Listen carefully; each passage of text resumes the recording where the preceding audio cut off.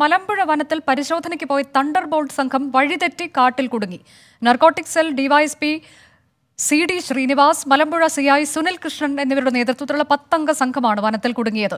ഇവർക്കായി പോലീസും വനംവകുപ്പും നാട്ടുകാരും തെരച്ചിൽ തുടങ്ങി.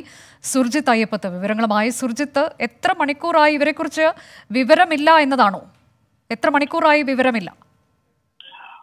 അനുജ രാവിലെയാണ് ഈ സംഘം മലമ്പുഴ വനത്തിലേക്ക് ഉൾവനത്തിലേക്ക് പോയത്. ഇത് ഇതുമായി ബന്ധപ്പെട്ട പ്രധാന വിവരം ഈ മേഖലയിൽ ഈ കഞ്ചാവ് കൃഷിയുമായി ബന്ധപ്പെട്ട അതുമായി ബന്ധപ്പെട്ടുള്ള റെയ്ഡിന്റെ ഭാഗമായാണ് narcotic cell DYSP C D ശ്രീനിവാസും അതോടൊപ്പം തന്നെ മലമ്പുഴ സി ഐ സുനിൽ കൃഷ്ണനും ഉൾപ്പെടെയുള്ള സംഘം കാട്ടിലേക്ക് തിരിച്ചത്. ഇവർക്കൊപ്പം തണ്ടർബോൾട്ട് ടീമും ഇവർക്കൊപ്പം ഉണ്ടായിരുന്നു. ഈ വിധത്തിൽ പത്ത് അംഗ അംഗങ്ങളുള്ള സംഘമാണ് ഉൾവനത്തിലേക്ക് കഞ്ചാവ് റെയ്ഡുമായി ബന്ധപ്പെട്ട് പോയത്. ഇന്ന് രാവിലെയാണ് ഈ സംഘം മലമ്പുഴയിൽ നിന്നും പുറപ്പെട്ടത്.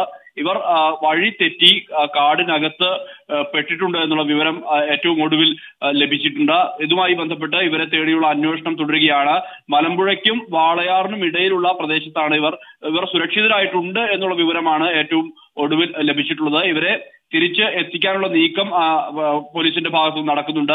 ഇതുമായി ബന്ധപ്പെട്ടുള്ള കൂടിയാലോചനകളും ഇവരെ തിരയുന്നതിന്റെ ഭാഗമായുള്ള നീക്കവും എല്ലാം തന്നെ പോലീസിന്റെ ഭാഗത്തു നിന്ന് ഉണ്ടാകുന്നുണ്ട് മലമ്പുഴയ്ക്കും വാളയാറിനും ഇടയിലുള്ള തമിഴ്നാടിനോട് ചേർന്നുള്ള പ്രദേശത്താണ് ഇവർ എത്തിയത്. ഏറ്റവും ഒടുവിൽ വയർലെസ് സന്ദേശം ലഭിക്കുമ്പോൾ ഇവർ സുരക്ഷിതരാണ് എന്നുള്ള തരത്തിലുള്ള വിവരമാണ് പുറത്തു വന്നിരിക്കുന്നത്. അനുജ. ശരി മലമ്പുഴ വനത്തിൽ പരിശോധനയ്ക്ക് പോയ തണ്ടർ ബോൾട്ട് സംഘമാണ് വഴിതെറ്റി കാട്ടിൽ കുടുങ്ങിയത്.